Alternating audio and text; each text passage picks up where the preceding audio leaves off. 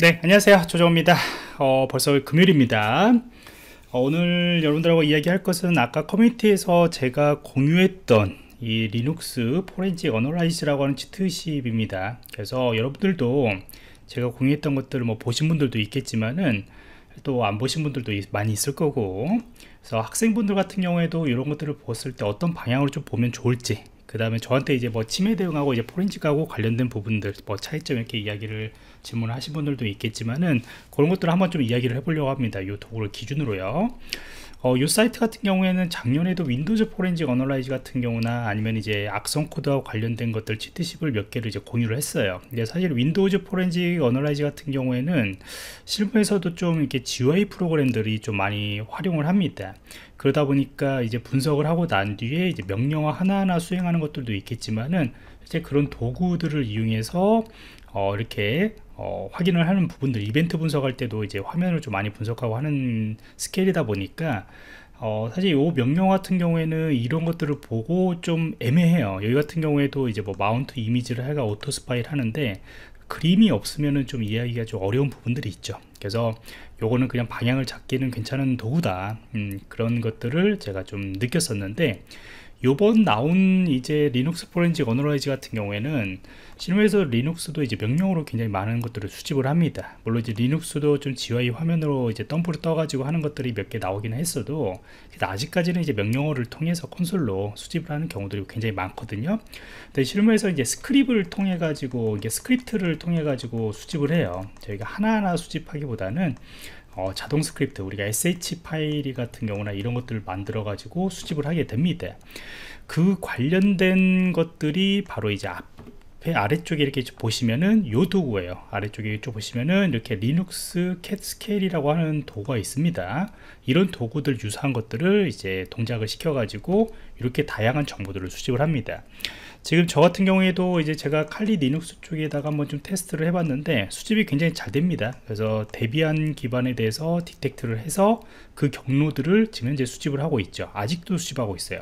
제가 한 10분 정도의 정도에 돌린 것 같은데 아직도 수집을 하고 있고 수집한 파일들은 이런 식으로 이제 아웃 어, 결과물 쪽으로 나오고요.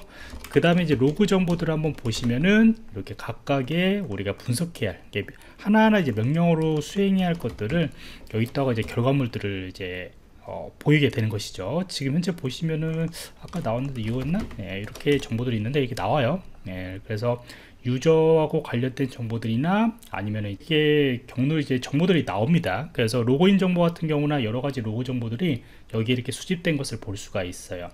그래서 실무에서도 여러분들이 포렌지 분석을 할 때도 그 다음에 이게 꼭 침해 사고 분석 관점의 그런 스크립트 뿐만 아니고 여러분들이 이제 주요 정보 통신 기반 시설의 관점에서 어, 우리가 이제 그 인프라 진단을 하게 되거든요. 근데 인프라 진단을 할 때도 어, 스크립트를 돌려 가지고 진단을 하게 되는 건데 이런 것 중에서 일부 정보들은 인프라 진단하고 겹친다고 보시면 돼요.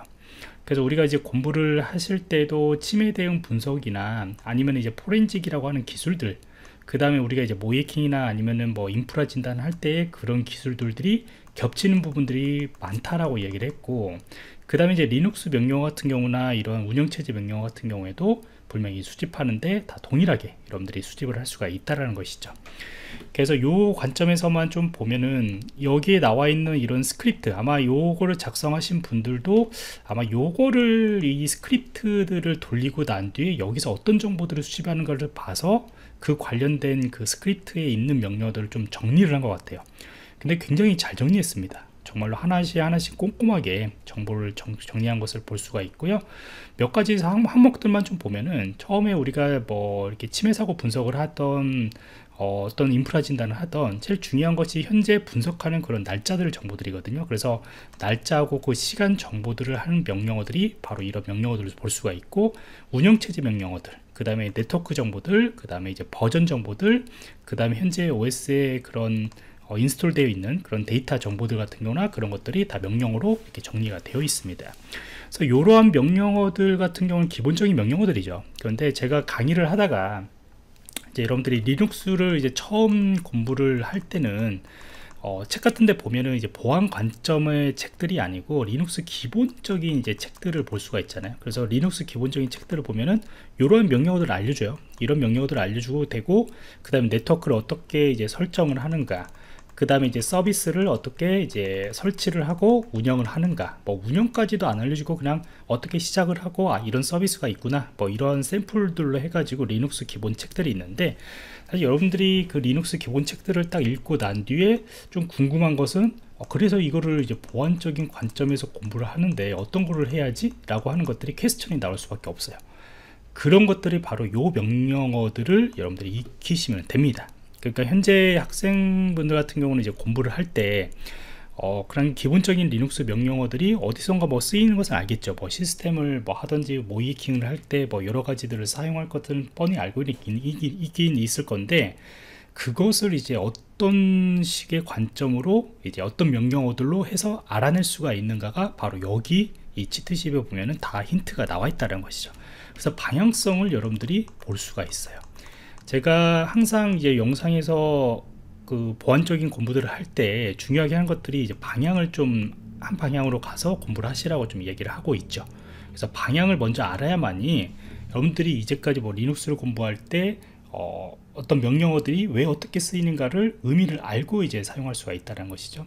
그래서 어, 두 번째 이제 항목들을 좀 보시면은 이렇게 lastlog 정보 같은 경우 WTMP, UTMP라고 하는 것들은 이제 로그된 정보들 기존에 시스템에 누가 로그인을 했었는가 이런 정보들이 아는 것이 바로 이런 명령어들이거든요. 아까 잠깐 이렇게 로그에 수집된 것들을 이제 볼 수가 있었겠죠.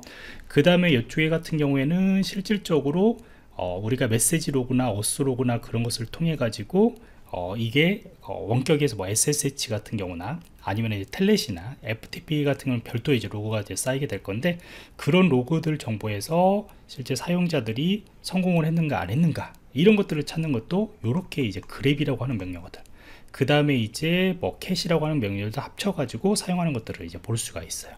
그래서 이런 명령어들 여러분들이 나중에 많이 사용하게 될 거라는 것이죠 그래서 요거를 힌트를 얻어 가지고 좀 한번 보시면 좋을 것 같고 뭐 프로세스 정보 같은 거나 파일 시스템 정보 같은 경우를 정보를 수집하는 것도 이제 침해 사고 분석할 때 굉장히 중요하거든요. 여러분들이 악성 코드 분석이나 그런 것도 할 때는 이제 프로세스 정보들을 많이 확인하게 돼요. 그래서 지금 현재 요거는 이제 악성 코드의 관점들은 아니지만은 침해 분석에서 어차피 악성 코드라고 하는 파트들 바이너리 분석 이외에 다른 것들도 동일하게 명령어를 사용을 합니다. 초기 그 정보들을 수집을 할 때요 그래서 그런 것들을 같이 연관을 해 가지고 한번 공부를 해 보시면 되게 좋을 것 같아요. 그래서 여기 나와 있는 이 치트식 같은 경우는 기본적으로 여러분들이 꼭 어, 기록을 했다가 나중에라도 실무에서 바로 활용할 수 있는 그런 명령어다. 그래서 추천하는 예, 블로그 정보라고 보시면 될 것 같습니다